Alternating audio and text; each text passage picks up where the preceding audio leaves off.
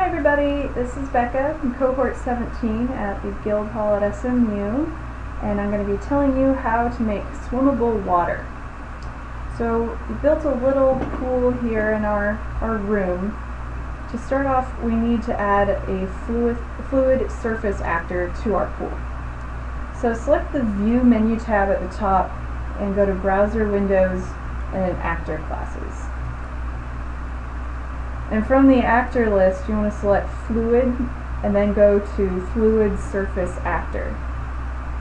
Now with this selected, you want to right click inside the empty pool and select Add Fluid Surface Actor here. And this will add a, a pretty big checkerboard plane to your scene. So you want to pull up that plane uh, as high as you want your water to go. And then use the scale tool to resize it so that it'll it'll fit inside your pool. So let me adjust this here real quick.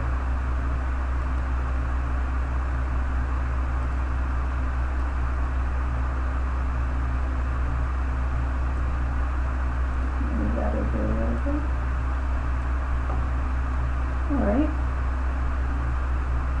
Now we want to check out a couple adjustments you can make to the fluid surface actor.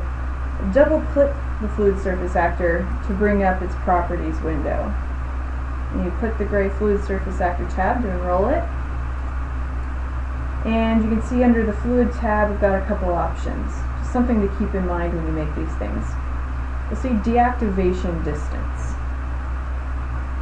Now this is how far away the player is for the fluid surface actor to deactivate. And you'll see fluid damping.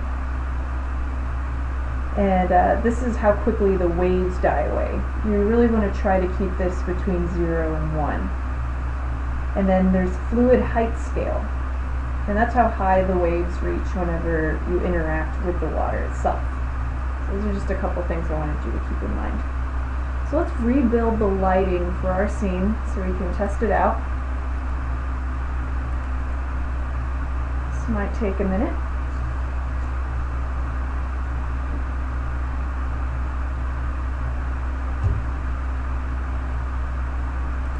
The windows. And then play the scene. Now if you shoot our fluid surface actor, it ripples like water. And depending on, you know, your fluid height scale and all that other stuff, it'll it'll look different.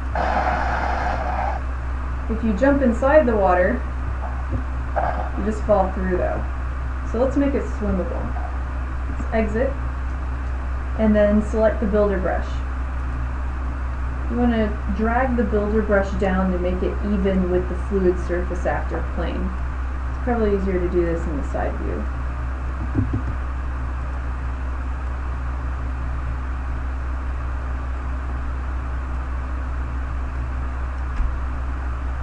Now uh, select the brush menu tab at the top of the screen, then add volume, and go to UT water volume at the bottom.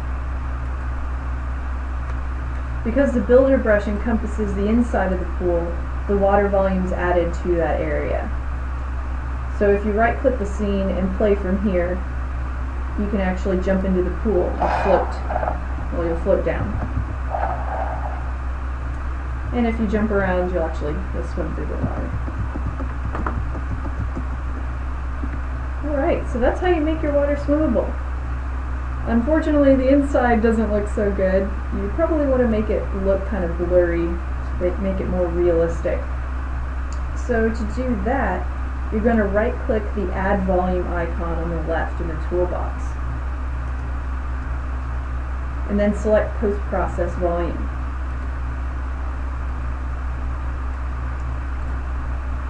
Now that'll this should open up the settings window, the properties window. To select the gray post process volume tab to enroll it, make sure it's enrolled. Go under settings.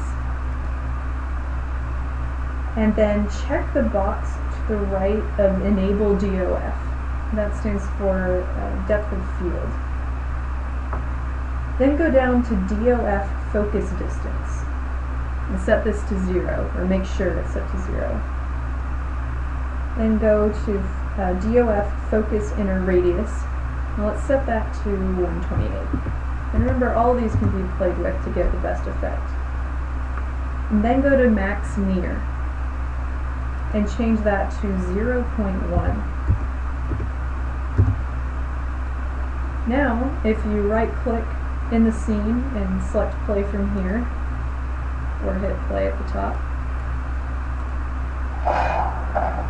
and you jump in the pool of water, you actually float down and it gets blurry. Alright. Well now if you want to add a texture to your water, you're going to open up the content browser and then double click your fluid surface actor.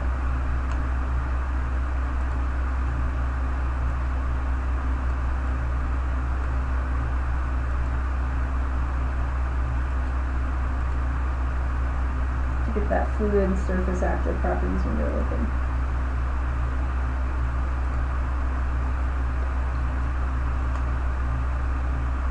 Here, hold on real quick. Okay. Alright, you want to, um, in your content browser, this is a lot of going back and forth, you're going to find the material material you want to use. So you got this water here. And then go find the, uh, under fluid surface actor properties, you're going to want to add next to fluid material, hit the green arrow to add the material to it. There we go. Alright, now we look back in our scene,